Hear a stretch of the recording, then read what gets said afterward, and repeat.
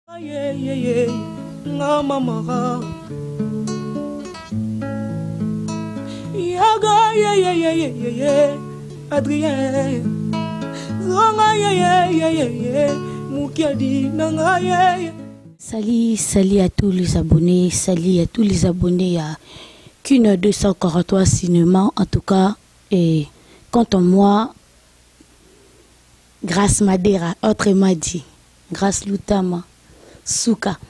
et lelo na memi bino encore ka nde bolingaka oyo eza emission na bino ya et verite non stop et bolingaka verite non stop eke elandela bino ti babi verite nde non stop tolobaka nyonso ka nde bomona nga na cadre moko esika na vandi en tout cas eza ndako eh ndako ya artiste na bino moko boye donc to bomone déjà en tout cas bosepela mingi déjà parce que nayebi ke ah, bosepelaka na ye fort bolingaka ye mingi eh, il s'agit ya bebe buchu hein? buchu oyo ya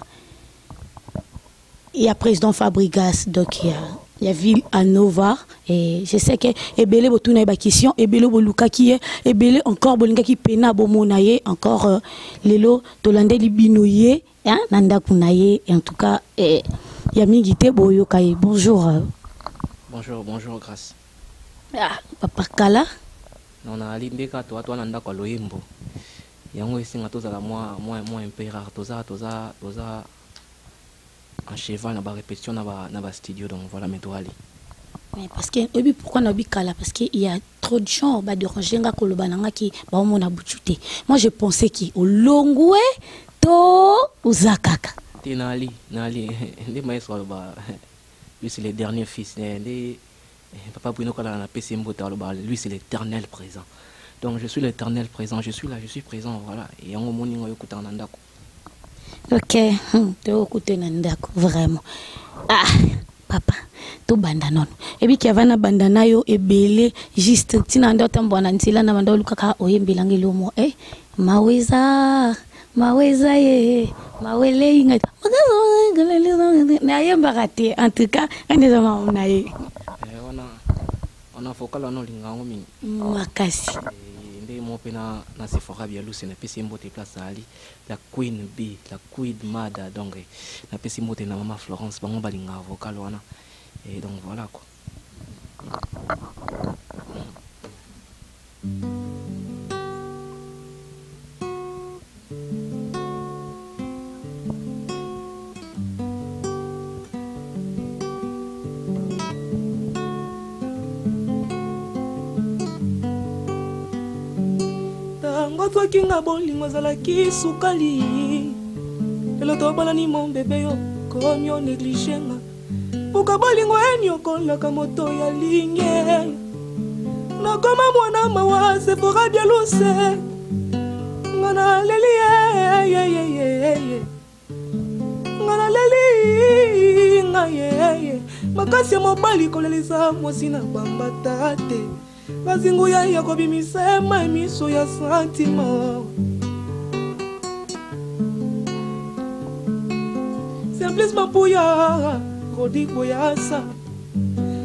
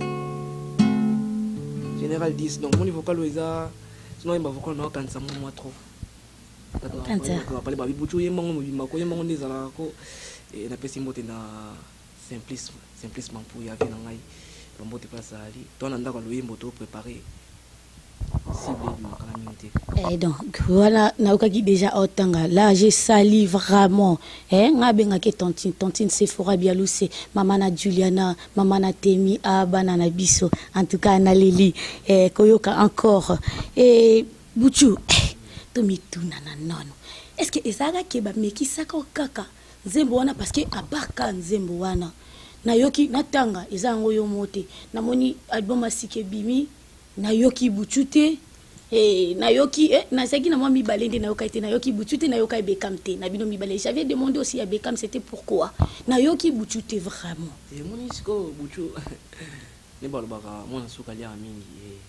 Nayembaki de de de bord moko boye ezalaka wana jour et nuit na comme auparavant Sikoyo nawelela bango nawelela bango Soki ozongi te Sentiment nanga nionso ekokoma solde na mboka bawa Nzembo moko ezoyaka mingi te nzembo moko eza tellement bien eza tellement gout eza tellement doux Omoni ba nzembo ya bongo ewutaka epa ye moko Nzambe. ewutaka pa ba Jacob te, ewutaka pa ba ange te, ewutaka pa ye moko grand pretre kolo eh, wana eza yaya ya mawa eza eh, eyebima kala mingi te. Na oyo kotanga nzambe nzambe yango otanga ya balokuta to ya bandenge pena ya basolo papa bateka bilambo partout te yo moko omona nde na boye omona deke jo aza Okoloba mutu moko wana kati ya paradis donc tosambelaka mua trop c'est juste pour amuser et pour s'amuser donc omoni tolingaka nzambe ndenge maestro alobaka biso soki nzambe te mobulu on, on, travaille, on travaille ensemble avec, euh, avec lui, on marche partout avec lui parce qu'il est omniscient, omnipotent, donc voilà. C'est la première fois que je suis omniscient, c'est bon. Eza dejà bien mingi bien mingi koyoka ngo n'est ce pas eh, a Jose Dingo Dingo Bula. Mais nayebike yo osambelaka ti. Mais si oui hein oui. Nesi na église na bino na église ba ntango bateyaka baba nzambe aza omniscient oui là je sais mais nayebi ke bamusicien ebele tomilobana nano tosala na mama basolo eh, n'est ce pas eh, patricien simba eh, na kati ya italie eh, mutu nyonso abimisa na kati ya monoko ne nkombo ya nzambe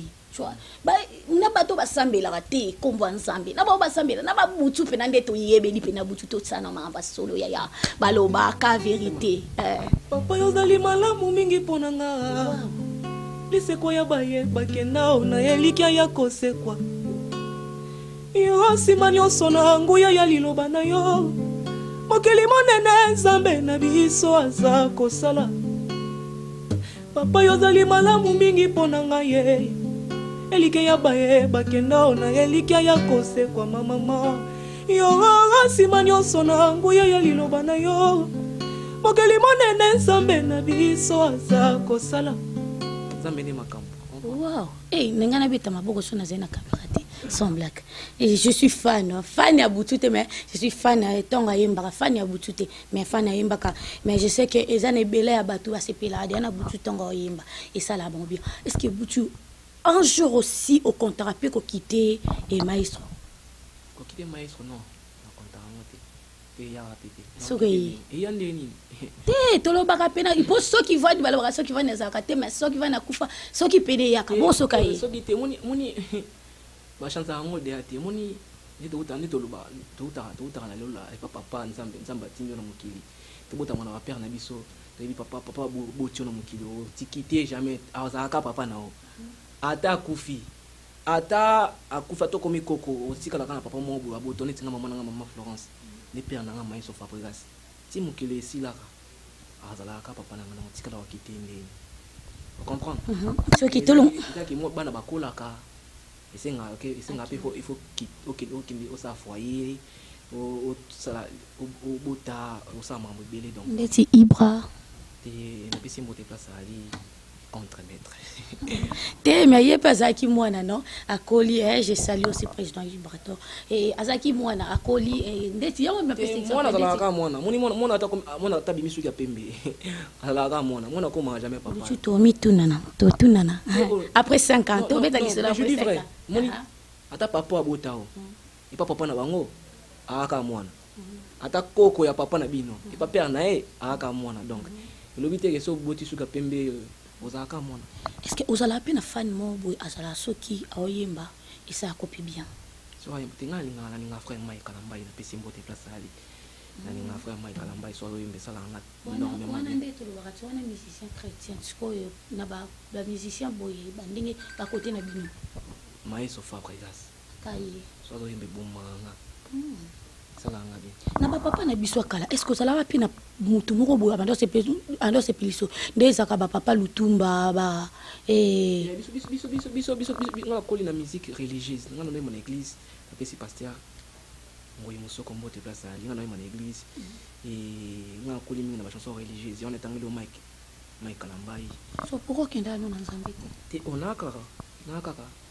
Nanga mwana nzambe ti lelo. Te kozala mwana nzambe na koyembela nzambe c'est deux choses different po nde toa boye toloba nao bamakambo moko butshu aza likolo moko awa butshu aza likolo moko awa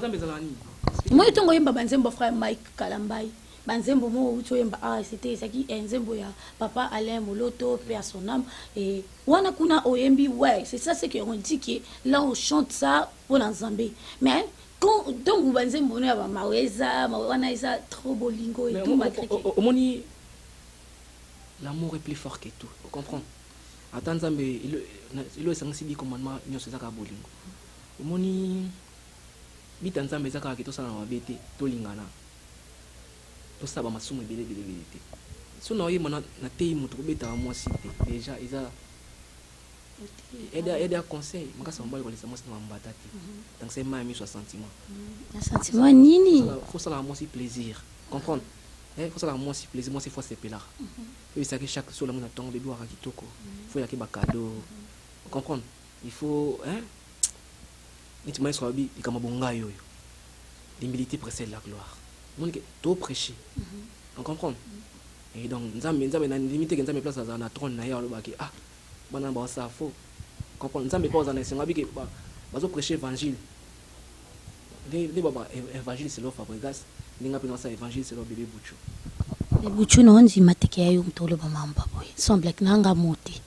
n'est ce pas nao ndima na nga te ke yo moto oloba makambo baboye makambo ya nzambe trop boye oyebi ke elekela nga esisa nga na maloba na mais na ndenge bobanda obete na lisolo mpe na butu mpe na nandimi te nasepela lisusu sala biso plaisir ensemble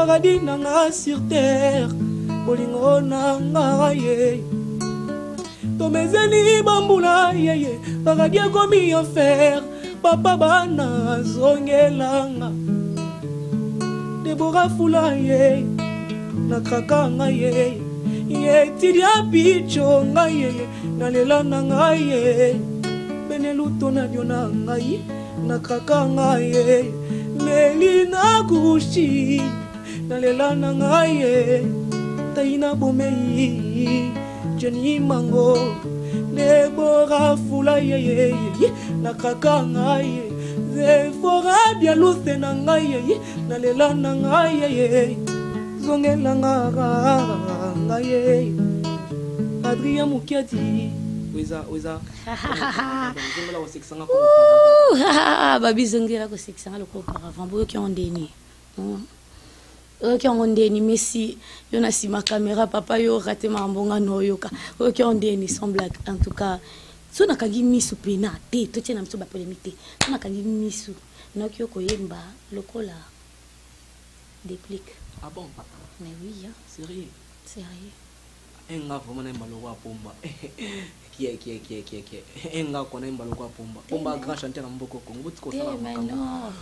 Muti bosaba makambo bosala afo. Na pesi mbote place azali pomba. Tosali nini na lobi kama ambasolo. Président est-ce que na kosi? C'est seulement que lobi ke so kangi misu. Mm. Oki te ke mutu ba parce que mutu na batongo mata pina koyoka se eh, eh, déplique.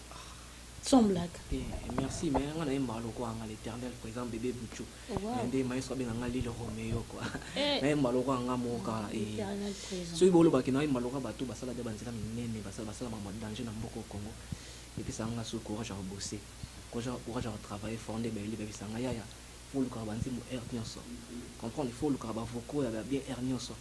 po kimaka mbangu il faut il faut il faut obetaka balle chaque dimanche il faut oza souffle ezalaka toujours donc voilà quoi et ntango obakisi so eloko epesaka nga toujours force ya travail lisusu okay. Okay, là je comprends déjà mais nalobaki nanga mabe te est ce que nalobi mabe est ce que natumboli motu non mais c'est seulement que koyoka butu c'est seulement Ebimaki bongo. Nasali na ndenge ya mabe te, nasali polemique te, nalingaka pe polemique te. Pomba, pomba, pomba alingaka nga mua trop. Eh mais si hein, et pourquoi pas non pomba pomba koloba liso ebele te donc pomba on m'a dit que yo oyembaka mingi moi je pensais que ozalaki ata na papa moko boye na bandenge ya bakala wanda osepela na ye mingi ozali na moto moko boye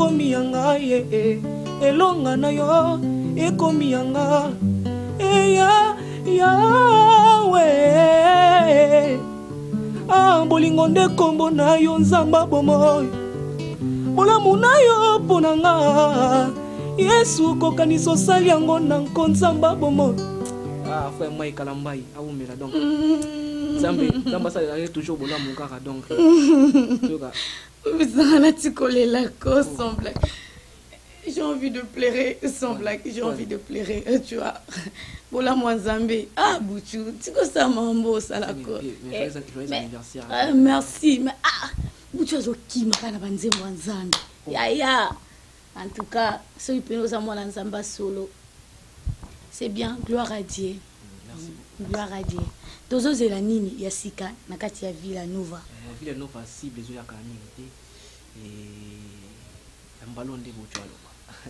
bocho alobaka te mais ya mbalo nde bocho alobi hmm? pe bocho ayembi pe ya mbalo donc bafungolaka matoyi donc voilà toko baoyoka yo koyemba yo moko parce que eh, toyoki yo te hmm, toyoki bucu abi na de vocala toyoki eka na de vocala pamba me toko toyoka mpena bucu koloba koyemba nani mobimba te nayembai de nzembo eh, sikoyo nayemba nayemba nzembo moko eza wana kala mingi te kaka kala mingi te na olingo devoile makambo ebele ebele te kala mingi te baozwa ngo kaka kala trop te ya ok merci beaucoup merci na buchu merci boyokaki e ayembaka vraiment sans blague mais koyemba na yo c'est comme si c'est un don hein? et quand tu chantes na omonaka bato baoforce voix tant bayembaka mais tu chantes namoni te place oyo force oyemba mpena Toute fois voix na yo na tango oloba ekomi eloko moko different de choses eh, ba misusu ba koma o akati linzolo ka mongo eh, même pas moni tita tita na tita tina embaka ne mabanzi mwa nzambe bola mwa nzambe leke bele moni nzambe nti toyaka na mokili mutu na mutu lobi te yenga na leki bato ebele mhm. eh, nzambe asala mutu na mutu na ndenge na ye mhm. eh, atya ba, ba, ba, ba grâce na mutu nyonso neti yo boye oloba bien osa mosala no bien e soki yo oza te biso mpe osa mosala ndeni soki biso toza te yo osa mosala ndeni mm. donc eh, nzambe aza aza aza tellement monene donc eh, yango biso ozalaka toujours na makolo ya nzambe donc voilà quoi natongi na nga te nayoki ke babeta lisolo na eloko wana yangi akima nga nayoki ke otanga kombo ya nzambe etu eh, nayokaki motu moko kobeta lisolo abi ozalaka ampe Orgueilleux dede un peu teti teti ya makasi ya solo obanda obude obude kobanda lelo ti lobi na ndenge kidiaba bata bongo siko ti bana oloba bongo fo bayaka na pale chez nga bongo adana bimaka na nga te nga so na bimi monanga na bana nzela na akuma merco na ngai na akuma compressor na nga mwa boye to moni nga na infinity na nga infinity kutu ya na garage Ba bongisa nga kutu mutu anga asalisa nga ba jeux. Omona nga na nzela, soki omoni nga na nzela, seke omoni nga na obenda ka. To omona nga na repetition te, na repetition na lobaka ebele te, na yaka kaka koyemba. Matoyi kaka ndeti mutu ebanda oyoka parce que. Te, batu ba lobaka, batu ba lobaka na bango dejà, ko loba eza eheheh, il est permis de parler, to na pays moko democratique. Mais parce que quand je parlais dejà que nazo sala emission moko na butu, il y'avait des gens, ezali na mutu mususu ayebisi nga, abina nga ah. Nalingaki nde ayembaka musu nasepelaka na voix na ye mususu donc nanda oyoka na nga moto moto atindela nga ba maloba na komisa c'était c'est ça ce que je faisais neti neti neti yo pe bandal oyebi bandal bandal ne tombera jamais apesi bana bandal nyonso mbote na linga bango moto oyebi bandal na biso nde ezalaka eh donc uh-huh. eh, balinga nga mingi bana bandal uh-huh. enga eh, pe na linga bango mwa trop uh-huh. eh, koloba fo bato balobaka so bato balobaka te se koa mort oenterre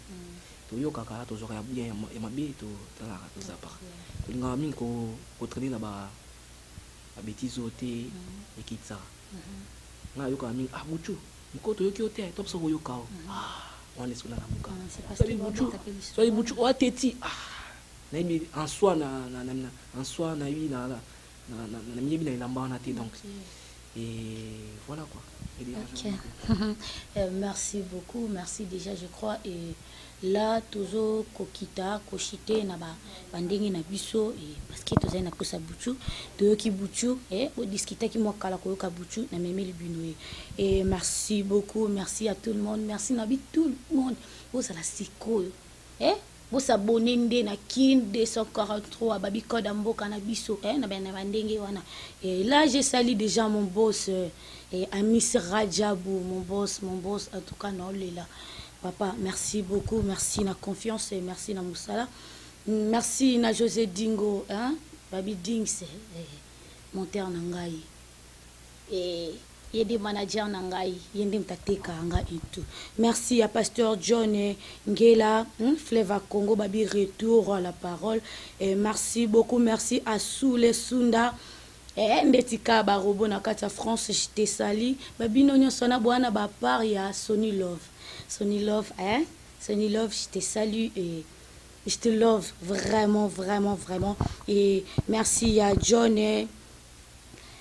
John ayi John nalobi oni mopao soda poto et tout et merci à JDK na kati ya France et Patrician Timba na kati ya Italie na linga bino mingi na yebi ke bino pe bolinga nga merci à Messi de la presse eh et moi mobali ana bina bomba ye osala nga musala bien merci beaucoup et merci à Bouchou na yebi ke boyebi nde na salaka na batu na nga na nasilani na ye te naosilana na na ye kala mingi te merci ya mama mon chéri mi ya mombanda euh, merci ya ma petite sœur eh, damaris euh, merci merci merci na baoyo bosoutenir nga merci na baoyo nyonso basouete nga joyeux anniversaire eh. mama babisou joceline je te sali mm, concert na ngai bombo Site ya bonbon en tout cas na saluer bino eh babi koto nde musala koto toyeli ba jete luchu nalina yo ko ya suka après nga na otikela na nga omoni oyo eza mpo na yo obosani castor lemba ah. lemba castor ah oh castor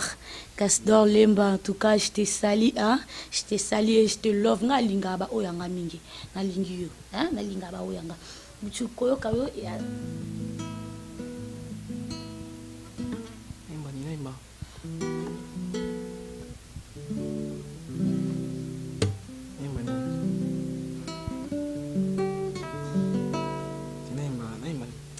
nzembo ya papa oyo te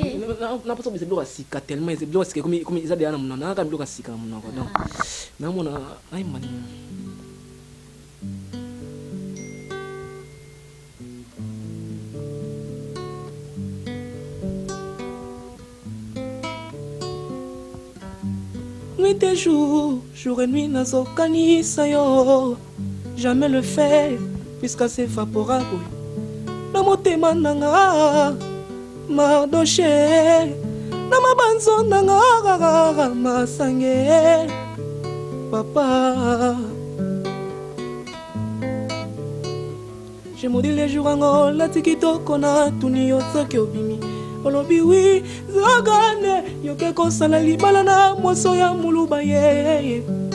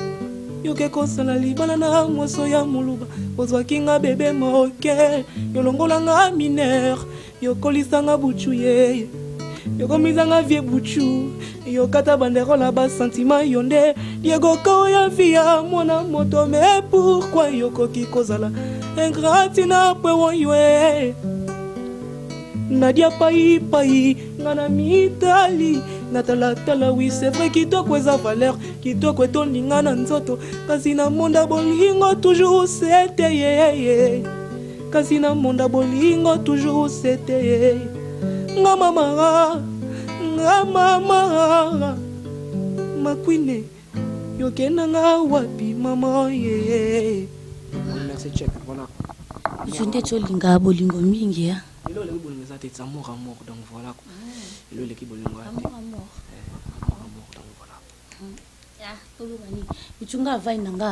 na peso ma micro na nga je te donne na yebi ke oza na ba oya yo ba oya nga eza kaka ke eh, micro na pesa mbote ka na Abraham na pesi mbote na Jesus Christ na pesi mbote na Jacob na pesi mbote na ba ba, ba ange ba archange oh. na pesi ah ange Michael eh. nalingaki mwa trop ye mpe alinga nga mwa mingi mikono adedikase ka bata lola donc eh, napesi bango tumbo te eh, voilà quoi ce ah, donc seke batakisi ayaya ah, so bomoni batangi bino te seke bon boluka buchu est ce que buchu eh, tu peux donner aussi hein, peut-être ya bato mosusu bayokaka ke nzembo ebima sika ana posa ya buchu abwaka ye etu akoki te bato wana posa bayebi ke page officielle nanga ezali na page officielle bebe buchu l'éternel présent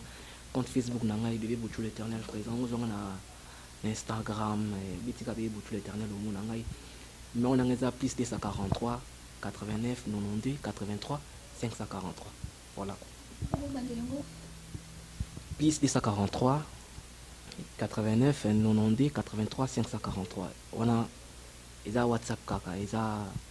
appel ti na WhatsApp c'est bon et voilà tout depend. Mais felicitations hein, na moni opesi numero no eh na kana okanisa opesa te. Poni. Te mais eh papa. Nayebi ke ekomi kaka mama boyi napesa numero nafingi na ngai yo te bekam nayebi ke bisika oza okanisa lokola nabeteli yo libaku mama boyi napesa eh, grand prêtre grand prêtre nkolo aloba jérémie 33 3 eh, eh, grand prêtre nkolo na bible kutu grand prêtre nkolo aba Hee so bengi ya ye maman na Jeremie 33 so tangi Jeremie 33 3 hein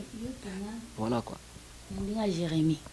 Buchu apesi ne numéro na ndinga Jeremie euh, merci beaucoup merci à tout le monde euh, merci na ba oyo bakotala nga merci na ba oyo baolinga nga po nga mpe naolinga bino mingi eh, merci vraiment vraiment merci oyo lelo naa na ebe esengo ebele c'est parce que eza jour oyo mama na nga abimisi yanga na mokili nasala 11 mois na libuma mama na nga e lelo le 15 novembre eza le jour oyo nabima merci ya mon cameraman mon réalisateur